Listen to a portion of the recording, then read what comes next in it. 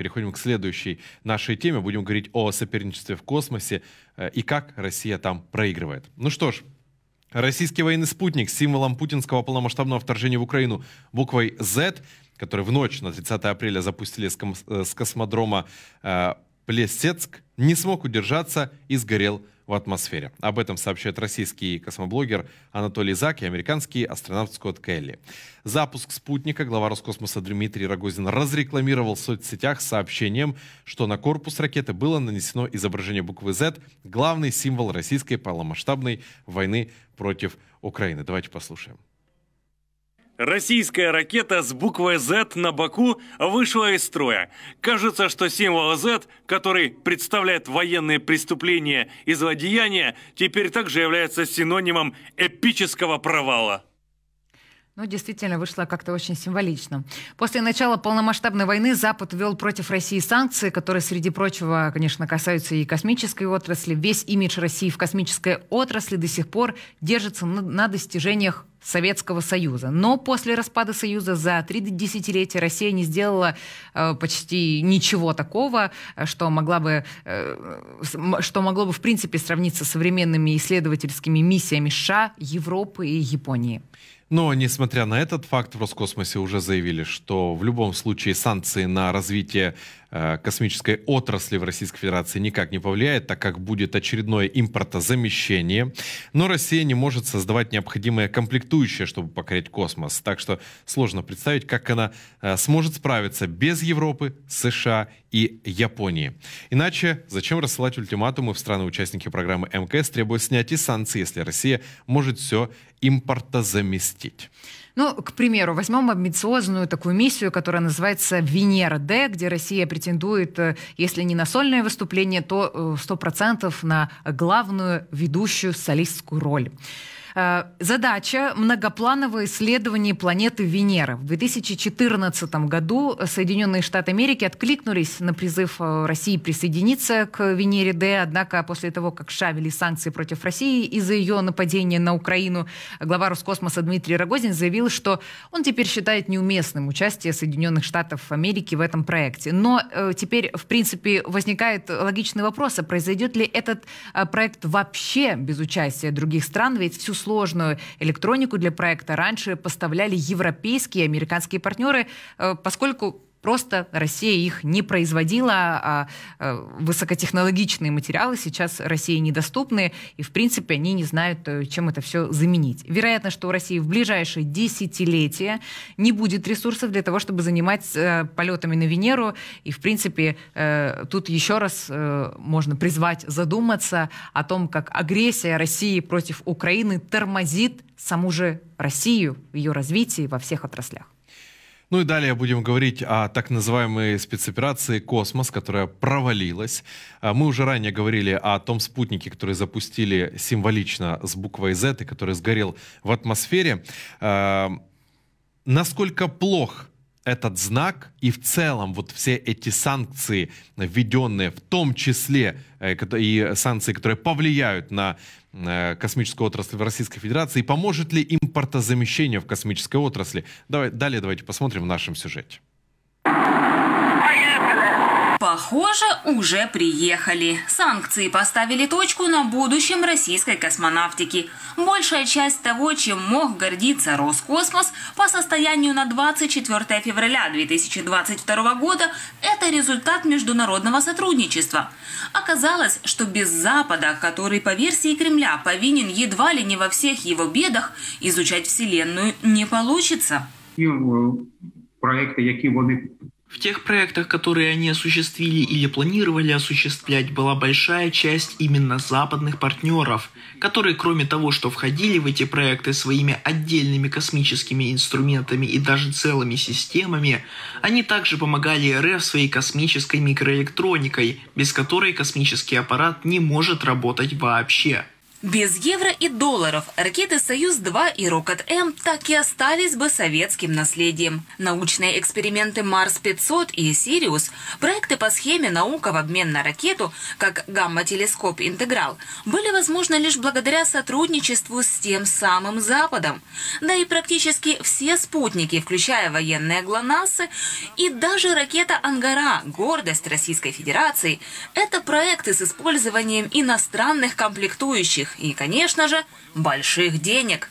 Это первый ракетоноситель, который создан в Российской Федерации, когда она стала Российской Федерацией.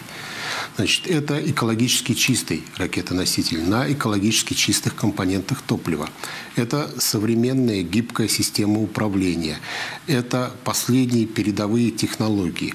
Это совершенно новый стартовый комплекс. Первые санкции против российской аэрокосмической отрасли ввели еще в 2014 году после оккупации Крыма. Тогда на автоматической межпланетной станции «Луна-25» пришлось переделывать посадочный радар, и на это ушло три года. А космическому телескопу «Спектр УФ» Европа отказалась продать новую фотоматрицу. Есть запуск двигателя первой ступени ракетоносителя все же Роскосмос в значительной степени сумел адаптироваться к санкциям, в частности из-за смены поставщиков. Но новое полномасштабное вторжение в Украину принесло волну новых санкций. И теперь Роскосмос вновь остался без поставщиков. Приостановка поставок одних только тайваньских микрочипов ударит по идее импортонезависимости, а поиск новых поставщиков отнимет еще несколько лет. Казалось, можно было бы обратиться за помощью к Китаю, но Проба России зараз. Попытка России сейчас примкнуть к Китаю неуклюжа, поскольку Китай не рассматривает Россию как полноправного партнера. Россия пыталась шантажировать Запад тем, что перейдет к широкому сотрудничеству с Китаем. Но у Китая свои планы, свои космические стратегии и политика. Они считают противником США, потому что именно Америка номер один в космосе. Поэтому Китай хочет догнать и даже перегнать их. То есть Китай не смотрит на россиян даже как на соперников. Но вряд ли Роскосмосу удастся еще с кем-нибудь посоревноваться. Сделать только российский продукт не получится, а достать иностранные комплектующие теперь труднее, чем было отправить Гагарина в космос. Виктория Ильчук специально для информационного марафона Freedom телеканала UA. Ну что ж, и про космические победы и поражения будем говорить вместе с нашим следующим гостем. Андрей Колесник, независимый эксперт по вопросам космической деятельности, экс-советник главы Государственного космического агентства. С нами на связи. Андрей, здравствуйте, рада вас приветствовать. Доброе утро. Ну что ж, э, про э, космос российский, про вообще в целом развитие э, космической отрасли. Сейчас введенные вот эти все санкции, они повлияют на космическую отрасль э, или же нет, как говорят в руководстве Роскосмоса? А, я думаю, что повлияет и очень серьезно. Причем в раз, э, почти равной степени как для гражданского э, космоса, так и для военного космоса, поскольку э, все, э, вся продукция ракетно-космической промышленности, она производится на одних и тех же предприятиях, только в зависимости от того, кто заказывает, или гражданский Роскосмос, или военное э, э, Министерство обороны. То есть, э, если речь идет о том, э, насколько упадет сейчас российский космос, можно считать тут с двух сторон. Первое. Гражданский космос фактически умер у России, кроме пилотируемой космонавтики. Эту часть еще гражданского космоса будет поддерживаться как только может. И все заявления о том, что э, досрочно будет покидать Международную космическую станцию, это все от лукавого. Поскольку если Россия вдруг захочет э, выселить себе в ногу, то она потом уже не возродит пилотируемый космос. И э, фактически единственная гордость, которая сейчас осталась у России, это именно пилотируемая космонавтика, это именно э, пилотируемые космические корабли, это свои, э, свой э, сегмент на Международной космической станции, он уйдет тогда в небытие. А новая российская орбитальная служебная станция, про которую так много говорят, в лучшем случае будет э, создана и запущена не раньше 2030 года. То есть в любом случае Россия в сфере гражданского космоса будет цепляться за эту единственную фактическую соломинку, которая позволит им еще поддерживать передовые на сегодняшний день технологий именно пилотируемых э, э, пусков, с учетом того, что удалось все-таки последние годы модернизировать именно и саму ракетоноситель, и пилотируемые космические аппараты, и системы стыковки, перейдя с аналоговых систем на цифровые.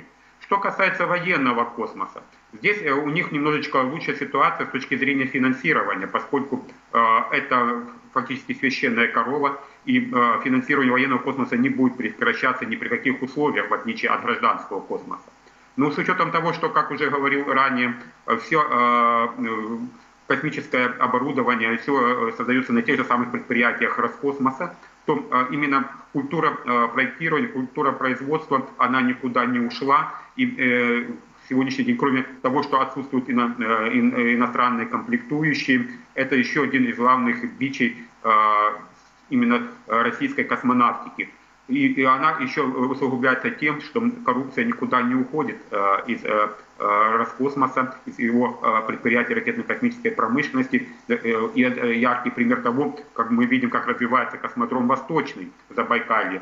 Когда он уже должно был давно сдан все очереди его в эксплуатацию. Мы только верим в то, что идут работы над только второй очередью, а про пилотируемые пуски именно с этого космодрома можно еще, наверное, и забыть как бы они не мечтали об этом и не планировали. Так вот, возвращаясь к э, военному космосу, конечно, инфраструктура военного космоса будет поддерживаться. Она состоит прежде всего из космодрома Плесецк э, в Архангельской области. Это достаточно э, развитая инфраструктура, она не только там а, имеет э, сам космодром, но имеет и центр управления полетами, имеет наземную инфраструктуру по слежению за космическим пространством, по космич... э, э, космическую обстановку постоянно а, а, исследует, изучает им и передает данные. А именно спутниковый сегмент, вот здесь уже есть вопросы, насколько именно предприятия Роскосмоса смогут обеспечить своевременное пополнение этой космической группировки. Здесь следует отметить э, разделение космической группировки э, на несколько сегментов. Это сегменты космической связи, э, сегменты наблюдения Земли с космоса, то есть фактически шпионаж. Это радиотехническая, электромагнитная составляющая, это навигационные системы. И здесь каждый сегмент имеет свои проблемы. Если говорить о проблемах навигационных системы ГЛОНАСС, то у нас идет в том, что именно э, зависимость от э, импортной микроэлектроники фактически не дает возможность сейчас пополнить эту систему. Для того, чтобы она нормально работала, нужно 24 спутника э, на орбите. И сегодня фактически Роскосмос не, вовремя не дает необходимое количество спутников для пополнения группировки, а сколько, поскольку каждый спутник имеет ограниченный срок службы, а с учетом того, что российские спутники всегда имели незначительный срок службы, то их нужно постоянно пополнять не реже, чем скажем, там раз в три года, э, за счет того, что э, действующие спутники потихоньку выходят из гарантийного срока службы. И поэтому э, навигационная система сейчас работает на грани своей возможности, то есть она еще пока выдает нужные задачи, особенно для военных целей. И мы это, к сожалению, видим по Украине, где они все-таки благодаря этой системе наводят свои крылатые ракеты. Что касается э, слежения э, за землей, то есть шпионаж в оптическом диапазоне и в радарном диапазоне, здесь э, немножечко ситуация другая. Здесь пытаются все-таки выйти на те параметры, которые имеют иностранные спутники, прежде всего американские. Однако развитие этого сегмента очень далек от качества американской спутникового шпионажа, скажем так. То есть попытки сблизиться по параметрам, они не дают никакого успеха. И мы вот видели, что э, позавчера э, сошел с орбиты очередной новейший э, супер секретный спутник радарного типа, который просуществовал в космосе всего 20 дней, и он был рассчитан на то, чтобы значительно улучшить показатели пространственного распознавания объектов на Земле. Это речь идет о том, что э, в отличие от э, американских, в отличие от э, европейских спутников, этот спутник был запущен на высоту очень низкую, меньше 300 километров. Это высота, которая достаточно критическая, поскольку постоянно требует коррекции двигателями спутника для поддержки этой высоты. Там уже слишком сильное э, трение идет от остатков атмосферы, и поэтому космический аппарат, если не будет корректироваться по высоте, он быстро сойдет с орбиты, что и произошло с этим спутником. Так вот, благодаря этим низким орбитам качество изображений можно существенно улучшить, что и планировали сделать российские военные. Но они потеряли перед этим спутник, который был запущен в сентябре прошлого года, именно в оптическом диапазоне на этой высоты. И сейчас они потеряли и радарные. То есть им приходится опять же возвращаться к той группировке, пополнению той группировки, которая есть на обычных высотах. Это обычно 600 километров над орбитой. И они вчера запустили такой спутник. Будет ли он корректно работать, посмотрим. По крайней мере, его э, э, предыдущие версии э, давали такую возможность, но, опять же, подчеркиваю, что разрешающая способность этих спутников очень низкая, она соответствует в лучшем случае коммерческим спутникам, которые сейчас вовсю используются в мире. Вот еще хотела вас спросить о том, что Россия как бы с надеждой поглядывает э, на Китай, но Китай едва ли сможет э, заменить, э, собственно, Соединенные Штаты собой, потому что китайская космонавтика хоть и обошла по многим направлениям Роскосмос, но все-таки там, где Китай еще отстает, в сотрудничестве России они заинтересованы, чтобы не делиться э, своими технологиями. Э, и все-таки все разговоры про сотрудничество с Китаем пока остаются разговорами. Э, есть ли желание у самого Китая делить свои успехи с Россией? Как вы считаете, как вообще смотрите на перспективу такого сотрудничества?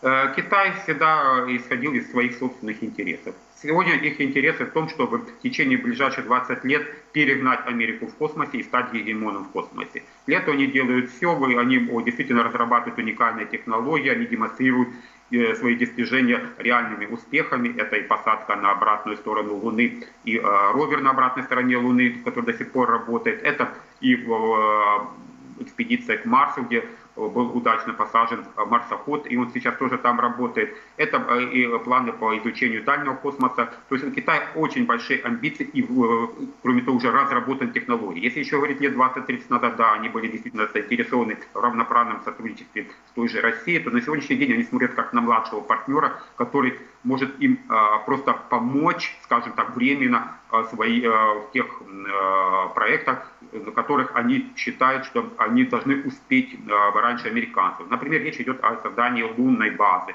Для этого они действительно подписали с Россией такое соглашение по созданию совместной лунной базы. А, ну, снова же, в тех соглашениях нет никакой детализации, а зная о тех технологиях, которые имеет на сегодняшний день Китай, и тех, которые пытаются возобновить с советских времен еще а, Россия, то э, видно, что в данном случае, опять же, Россия будет не как основной партнер, а как второстепенный. Россия это, конечно, не будет нравиться. Они пока рассчитывают на то, что они шантажом э, типа плотного сотрудничества с Китаем могут э, что-то противопоставить Америке, но на самом деле Китай их не рассматривает равноправным партнером. Я думаю, что в России, скорее всего, это понимают, а если они пока публично это не, не, не Э, говорят, то я думаю, что дела через 5-10 лет покажут, насколько реально Россия не может даже тягаться с, Россией, э, с Китаем в рамках равноправного сотрудничества.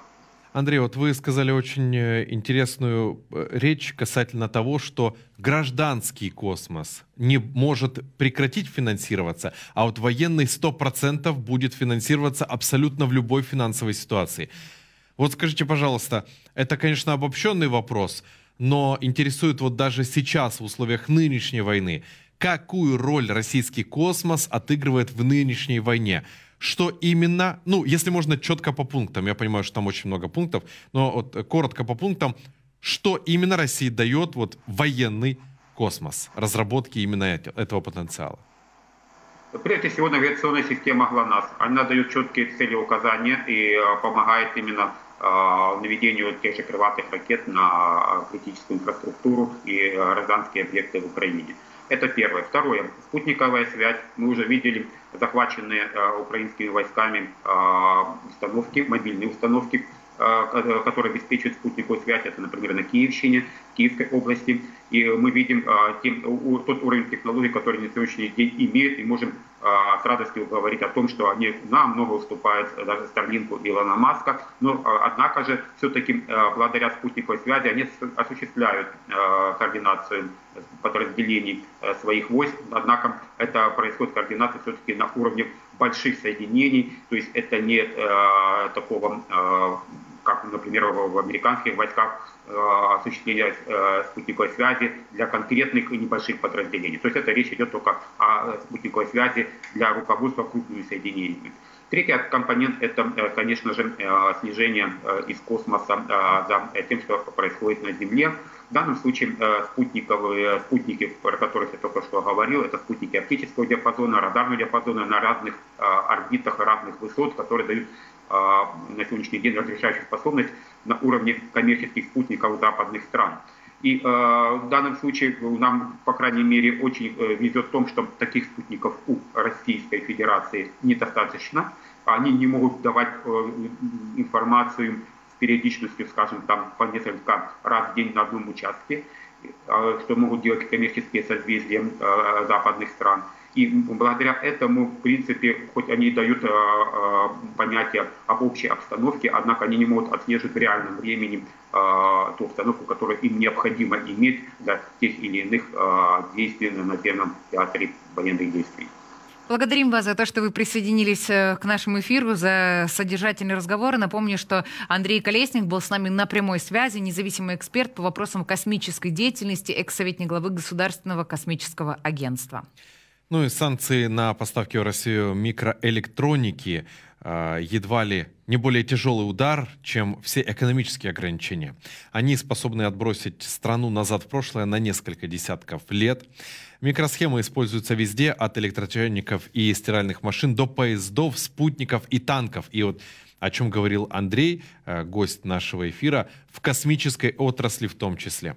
В России производится в лучшем случае по мировым нормам 10-15-летней давности. Самостоятельно э, выбраться из этой ямы практически невозможно, а Китай, сам испытывающий проблемы, не обязательно сможет и захочет помогать. Ну и, собственно, э, как отметил уже эксперт, с которым мы только что общались в студии, что Китай прежде всего, конечно же, заинтересован в собственном развитии и прежде всего преследует интересы своей страны, что, в принципе, логично.